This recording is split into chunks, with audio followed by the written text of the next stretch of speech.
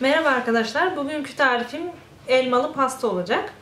Ee, çok nefis, çok güzel, çok lezzetli bir pasta oluyor. Ama bir gün önceden yapmamız gerekiyor. Çünkü bir gece buzdolabında beklemesi gerekiyor. Şimdi ilk önce tart hamurumuzu yapacağız. Ee, bunun için klasik tarifim aslında her tart için kullandığım tarif.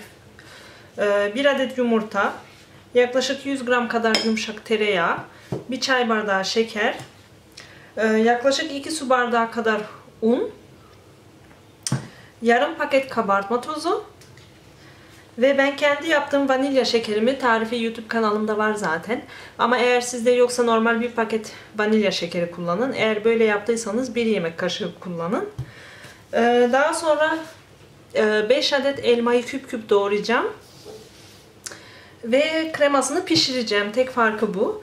4 adet sıvı krema kullanacağım bunun için. Ee, ama siz isterseniz 2 paket krema ve kalanını sütle de tamamlayabilirsiniz. Eğer krema maliyetli olur derseniz. Ve vanilyalı puding kullanacağım. Bir bardak da şeker. Çünkü Fransa'daki pudingler hatta Almanya'dakiler de öyle. Fransa'daki pudinglerde şeker yok. O yüzden ben bir su bardağı kullanacağım. Ama Türkiye'dekiler mesela Türk pudingi kullanırsanız onlarda zaten şeker olduğu için mesela yarım bardak kullanabilirsiniz. Artık damak zevkinize göre ayarlayabilirsiniz. Ve yine ekstradan 2 paket vanilya kullanacağız. Vanilya şekeri. Ama dediğim gibi ben yine kendi yaptığım vanilya şekerimden kullanacağım. 2 yemek kaşığı. Muhallebimizi, muhallebimizi pişireceğiz ve elmaların üzerine dökeceğiz. En son bir paket file badem dökeceğim üzerine ve evet yapımına geçebiliriz. Şimdi yoğurma kabıma bir adet yumurtamı alıyorum. Bir çay bardağı şekerimi. Ee, bir yemek kaşığı vanilya şekerimi. Yumuşamış tereyağımı. Ve yoğurmaya başlıyorum. Ben iki bardak un ayırdım. Bakalım yetecek mi? Yetmezse söylerim ne kadar ilave ettiğimi. Şimdi bunu yoğurup geliyorum.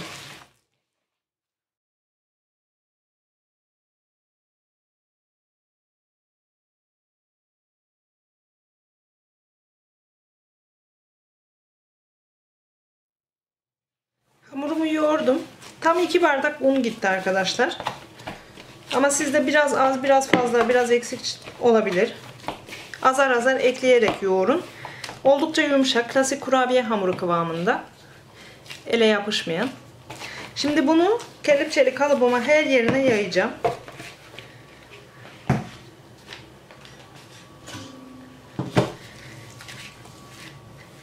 Elimle böyle kenarları da hafif çıkarak yayıyorum. Bu hamuru her türlü tart için kullanabilirsiniz. Ve bu pastayı yani başta söylemeyi unuttum. Bu pastayı her istediğiniz meyveyle yapabilirsiniz. Vişneli olur, kayısılı olur. Yani ne isterseniz armutlu, böğürtlenli özellikle çok güzel oluyor. Hem renk açısından hem tad olarak. Ben bugün elmalı yapacağım. Yani klasik tarifimiz elmalı olan. Ama siz dediğim gibi dilediğiniz meyveyle yapabilirsiniz. Tek püf noktası bir gece buzdolabında beklemesi gerekiyor. Ki güzelce çeksin kendini. Evet böyle elimizle kenarlara da çıkıyoruz. Daha sonra düzelteceğiz zaten. Daha net yapacağız.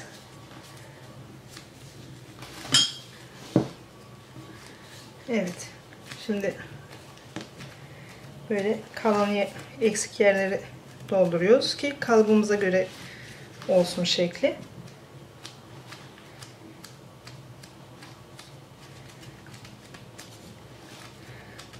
Daha sonra elmalarımı soyacağım. Küp küp doğrayacağım. Çünkü muhallebimi pişirince bekletmemem gerekiyor. Direkt muhallebimi elmaların üzerine döküp fırına vereceğim.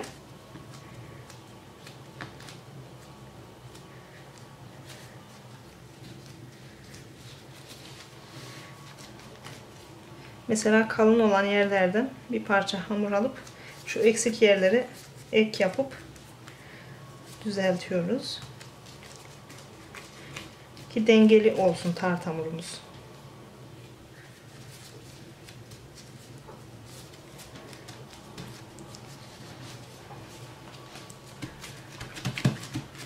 Tamamdır.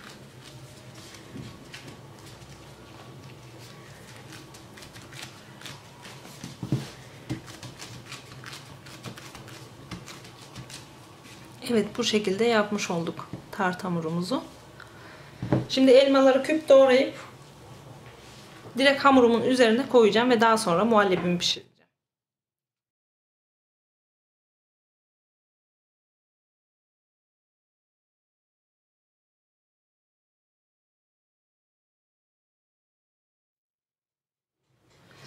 Elmalarımı doğradım. Şimdi bunu kenara alacağım. Muhallebimi, pudingimi pişireceğim yani daha doğrusu. Şimdi tencereme 3 bütün kremayı döküyorum ilk başta. Çünkü toplamda 750 gram mililitre gerekiyor. Yani dördüncü kutumuzdan biraz içinde bırakacağız yani. Çok değil ama biraz bırakacağız.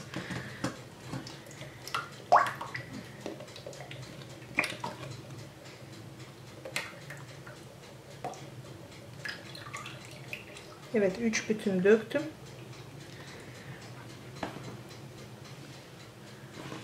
Bunun da aşağı yukarı yarısını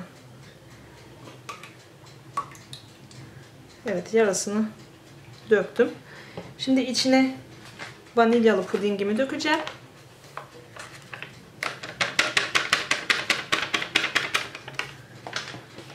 Şekerimi 2 yemek kaşığı da vanilya şekerimden veya 2 paket vanilya şekeri sizde yoksa. Ve şimdi bunu pişireceğim. Normal puding pişirir gibi karıştırarak karıştırarak pişiriyorum pudingimi.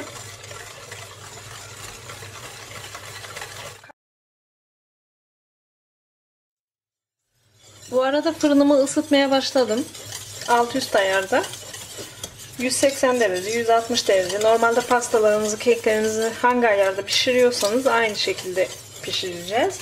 Ve yaklaşık 40-45 dakika pişireceğiz fırında. Şimdi pudingim kaynamak üzere.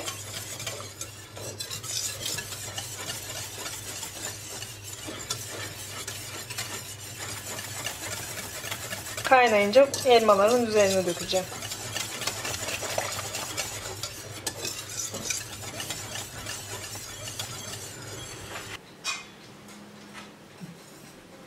Pişen pudingimi elmaların üzerine döküyorum. Her yerine gelecek şekilde.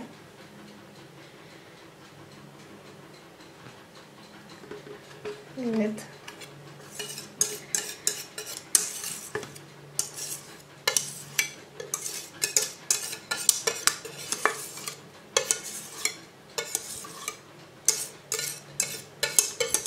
Vanilya ile elma Üstelik üzerine file badem uyumu müthiş yani. Şimdi elmaları güzelce kapsamasını sağlıyorum.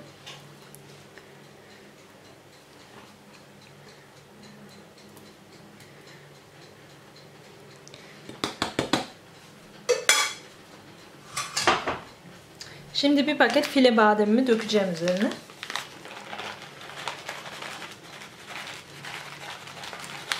Bunlar da güzelce kızarmış olacak pişesiye. Çok güzel o pasta yani. Ben bir paket diyorum ama yani maksat üzerine kaplasın.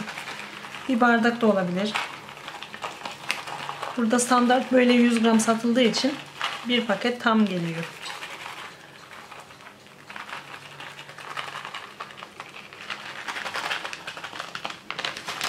Dediğim gibi bu pastayı istediğiniz meyveyle yapabilirsiniz. Vanilyalı pudingli pişirip Evet.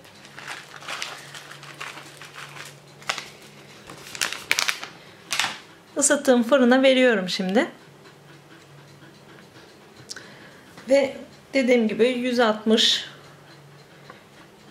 180 derecede kızarana kadar pişecek.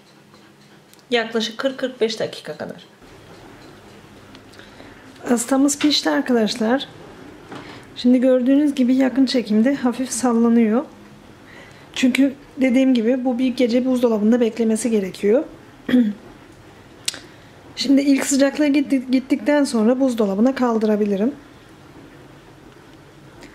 Yarın dilimlenmiş haliyle görüşürüz.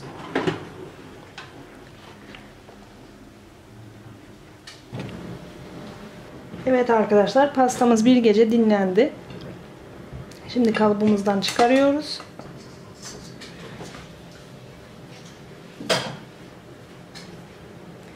Ve içinin dilimlenmiş halini göstereyim. Mutlaka bir gece dolapta beklemesi çok önemli.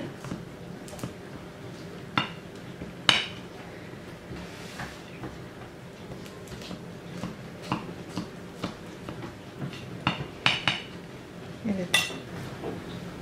Evet dilimlenmiş hali de böyle pastamızın. Nefis kremalı. Kreması da donmuş. Evet bir tarifin daha sonuna geldik. Videolarımı beğendiyseniz kanalıma abone olmayı unutmayın. Çok teşekkürler. Bir dahaki videoda görüşmek dileğiyle.